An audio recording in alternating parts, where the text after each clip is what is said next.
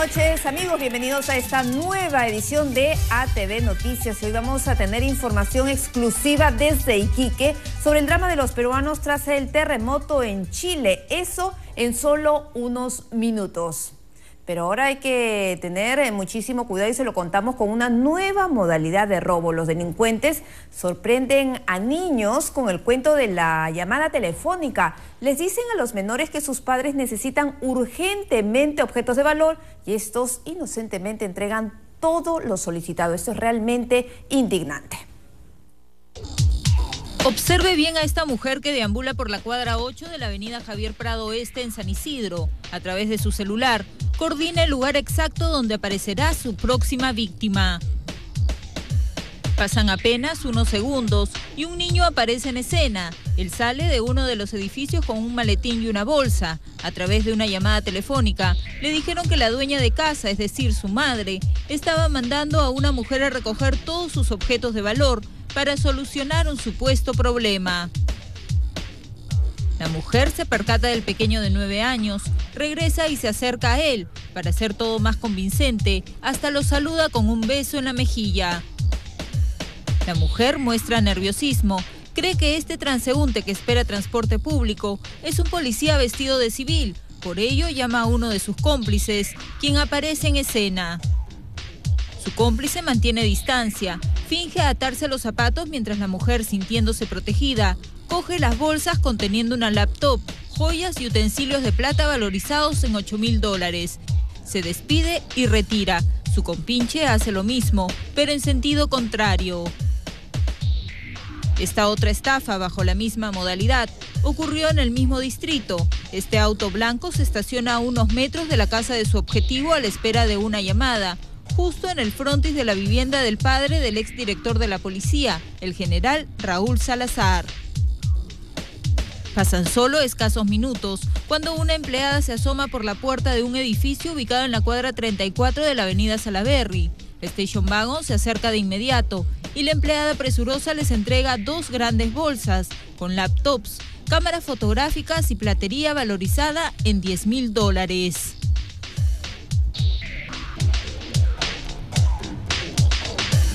Si bien la Station Wagon se retire, la empleada regresa al domicilio.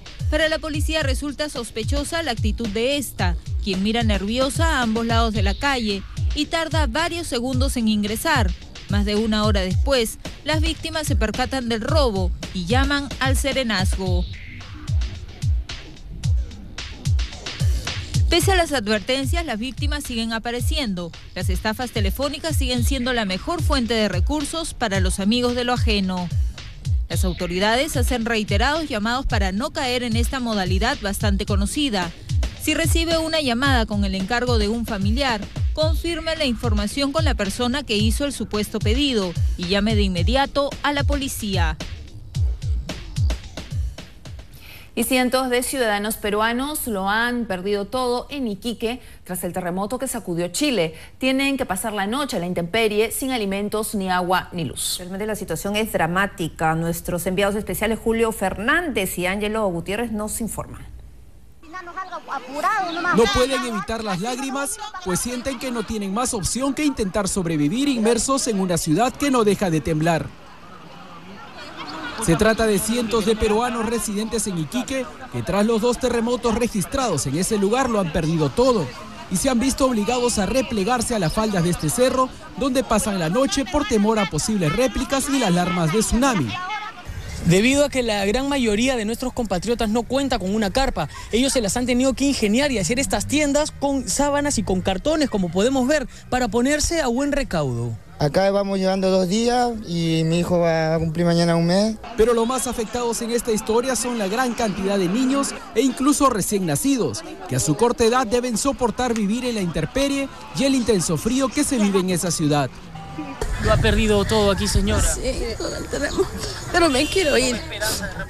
No, me quiero ir. Ha perdido sus cosas, señora. Hay daños materiales. Sí, porque yo mi negocio todito se me terminó de mi perfumería que tenía. Todo, todo. Y es que tras el último siniestro registrado el pasado miércoles en horas de la noche, las calles lucen desoladas. Son varios los ciudadanos que optaron por marcharse a pueblos cercanos ubicados al norte, escapando del peligro.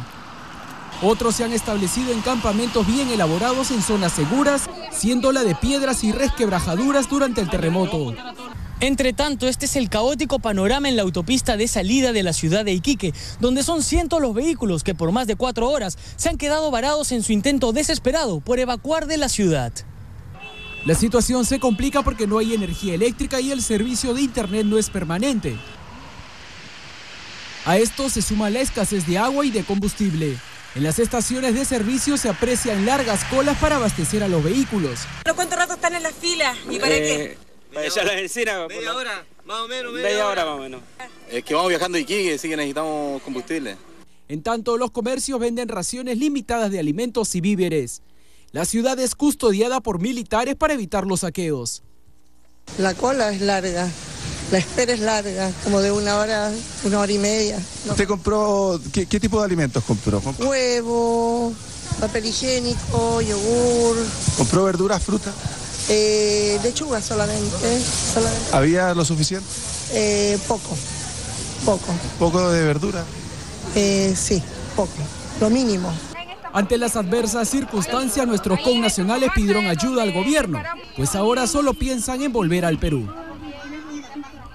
Y nuestros enviados a Iquique también conversaron con la esposa del único peruano fallecido por el terremoto. Ella aún no tiene valor de comunicar a sus hijos lo ocurrido con su padre. Siempre voy a recordar esos labios carnudos que tuvo mi marido. Siempre lo tengo acá. Dice aceptar que tendrá que vivir de su recuerdo. Lo que no puede soportar es decirle a su hija mayor de seis años que papá no volverá nunca más a casa. A la que no tengo fuerza ni valor es decir a mi hija que su papá se fue al cielo. ¿Usted todavía no se lo ha contado, No, no tengo el valor porque mi hija adora a su papá y él adoraba a su hija. Abelina Coáguila es arequipeña. Conoció a Rolando Pantoja en Iquique, a donde ambos viajaron en busca de trabajo. Se enamoraron y formaron un hogar. Todo era felicidad junto a sus dos hijos, el menor de dos años, como muestra este video. Pero la tragedia cambió por completo el rumbo de esta familia. Al peruano Rolando Pantoja le cayó encima un pesado letrero cuando trabajaba como obrero en la zona franca. Su viuda denuncia que en el hospital a donde lo trasladaron no recibió una adecuada atención. Una negligencia porque él estaba con vida.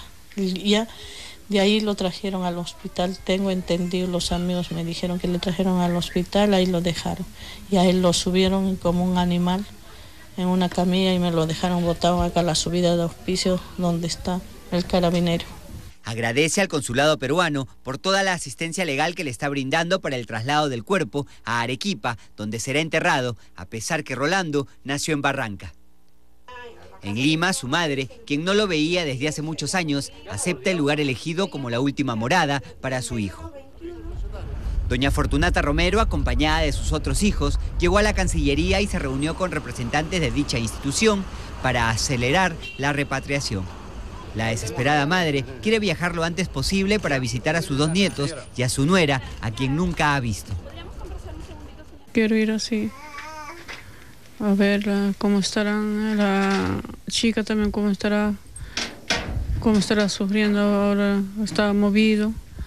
Cuenta que el día del fuerte sismo una corazonada le avisó que algo había pasado con Rolando. El mismo sentimiento de angustia que tuvo una de sus hermanas, quien se comunicó con Rolando por última vez el domingo por internet.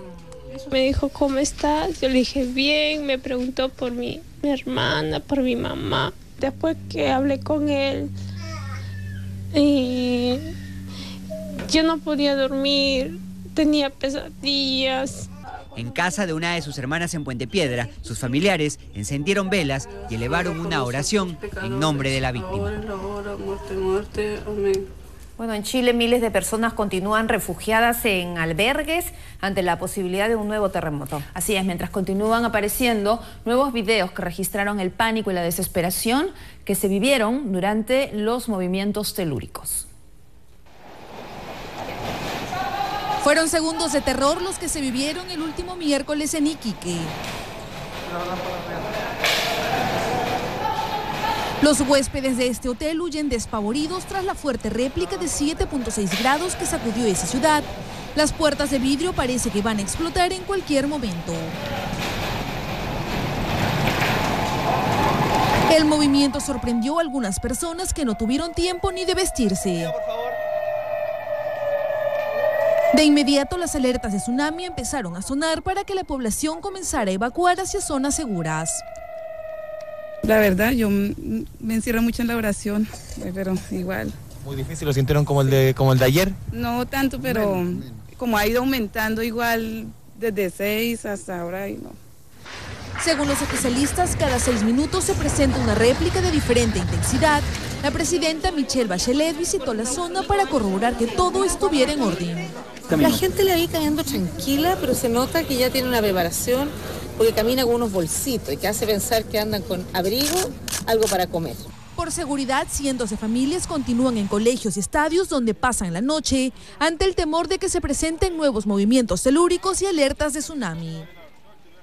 Desde muy temprano, largas colas abarrotaron los supermercados, pues han aparecido los especuladores que aprovechándose de la desesperación de las personas, venden un bidón de agua a 35 soles y un kilo de pan a un equivalente de 15 soles. Si hay comerciantes o personas que estén vendiendo estos productos efectivamente a precios elevadísimos, en la situación de catástrofe en la cual nos encontramos en la región, procedan a hacer las denuncias ante carabineros o la policía de investigaciones. Mientras tanto, Chile continúa en alerta máxima, pues sismólogos de Estados Unidos han asegurado que el país del sur podría enfrentar otro terremoto superior a los 9 grados. en el Perú, la alarma de tsunami puso en evidencia que los daños serían considerables si es que este fenómeno ocurriera. Uno de los lugares más afectados aquí en Lima sería Barranco. La alarma de un posible tsunami en la costa peruana ya fue disipada. Sin embargo, los estragos que un fenómeno de este tipo dejaría solamente en la Costa Verde serían realmente graves. Forados de gran tamaño, rajaduras, estructuras totalmente desgastadas y a punto de colapsar. Eso es lo que encontramos en el Boulevard Bordemar, ubicado en la parte posterior del centro comercial del mismo nombre en Barranco. Eh, con el área de desarrollo económico, la gerencia está tomando las medidas, además con defensa civil, ¿no? a efecto de poder mm, aislar un poco la zona y no cause riesgo a las personas que puedan transitar. ¿no? El espacio público está deteriorado desde hace más de un año. Sin embargo, luego del oleaje anómalo que se produjo en la costa peruana a raíz del terremoto en Chile, el daño es irreparable, por lo que tendrá que ser demolido y reconstruido por la empresa concesionaria del lugar. 75 días aproximadamente, ¿no? En 75 días ya estaría reparado. Sí, la municipalidad lo que va a hacer es un tema de supervisión, supervisar que se ejecuten correctamente los trabajos. Aunque el municipio ha prohibido el pase peatonal en la zona, pudimos observar a algunos surfistas que decidieron aventurarse entre las olas sin dar mucha importancia a las recientes alertas.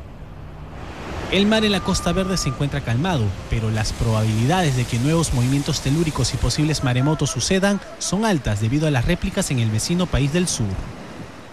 Estas réplicas consideramos que van a suceder todavía a lo largo de unos tres meses aproximadamente, pero de magnitudes inferiores. De producirse un tsunami en las costas peruanas, los daños se advirtió serían de magnitudes considerables. Las zonas más vulnerables es el área del Callao y específicamente el área de la punta. que Sí afectaría sería toda la infraestructura que está eh, en el circuito de la Costa Verde, ¿no? los restaurantes y todas las áreas de recreación que existen. Ante esta situación, los que han resultado más afectados son los pescadores. Es un poco complicado para nosotros porque cuando está constantemente movido, muy poco entran los peces. Pescamos, pero siempre peces chicos nomás. Lo cierto es que debemos estar prevenidos. Recuerde tener una mochila de emergencia equipada con alimentos no perecibles, baterías, una manta y prendas de abrigo, botellas de agua y algunos alimentos. Así también es importante participar en los simulacros realizados por las autoridades. El próximo está programado para el día 3 de mayo en la Costa Verde y servirá para saber cómo afrontar un tsunami.